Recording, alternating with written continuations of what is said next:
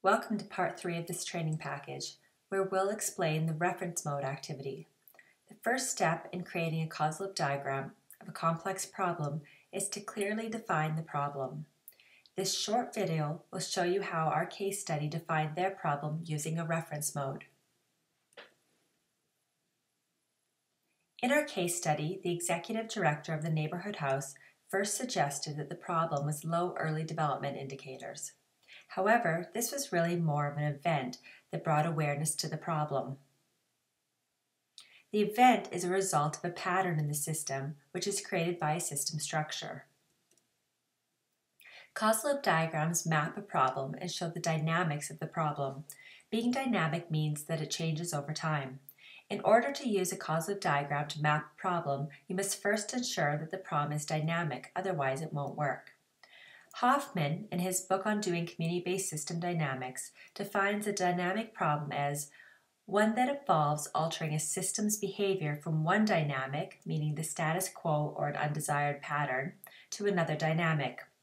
We will give examples of what it means to alter the behavior from one dynamic to another in the latter slides. A reference mode is used to map the dynamics of the problem of interest and help build consensus to define the problem. The participants in the modeling session were given a reference mode for measles immunizations as an example. On the horizontal axis, we always put time, and on the vertical axis are the units of the variable of interest. In this case, the problem we're interested in is measles immunization rates. When the vaccine was first introduced in 1963, it's likely that the immunization rates were close to 100%. But over time, immunization rates have begun to decrease, and it's possible they may continue to decrease in future years. Thinking about the definition of a dynamic problem from the previous slide, it is one that involves altering a system's behavior from one dynamic, the status quo or undesired pattern, to another dynamic. The current dynamic is an undesired pattern because it decreases over time. We want to change that dynamic to an increase. So this is a dynamic problem.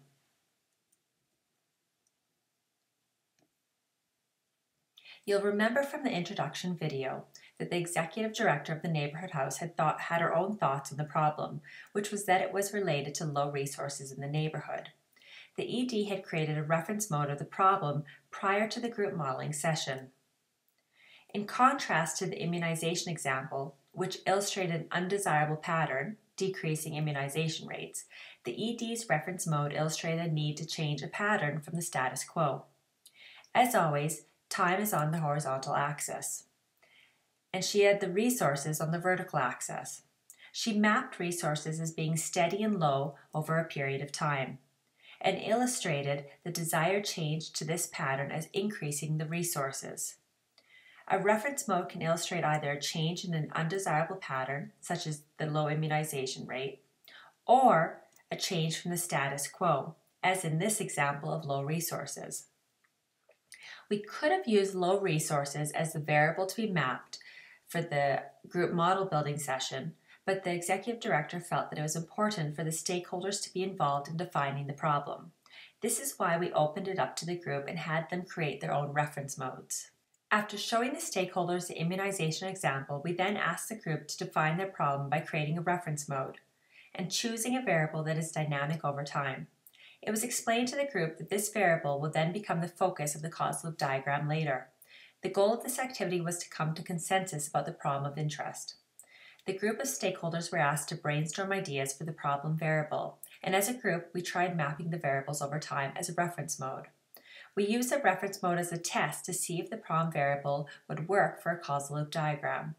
For example, it was suggested that the percentage of newcomers or recent immigrants in the neighborhood affected the problem of low resources being directed to the neighborhood. However, if we try to map this variable on a reference mode, it doesn't work very well. We can show that the percentage of immigrants in the neighborhood have been increasing over time, but this is not an undesirable pattern that we want to change, so it doesn't meet the reference mode test. Another variable suggested was social connectedness. It was suggested the social connectedness of this neighborhood had been low for a long time. Now this suggests a status quo pattern that we want to change. After some discussion, the group decided that social connectedness was the problem of interest that they want to map.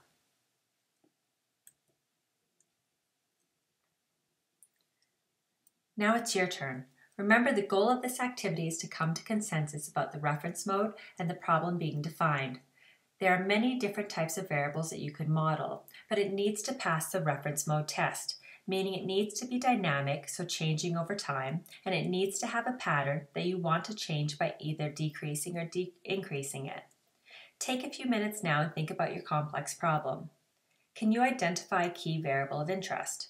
Try creating a reference mode of the variable and see if it passes the test. Is there an undesirable pattern that you want to change? Or do you want to change the status quo pattern? If your variable doesn't pass the reference mode test, then try a different variable. Once you've done this, try going on to the next video which will show you how to elicit variables for the causal loop diagram.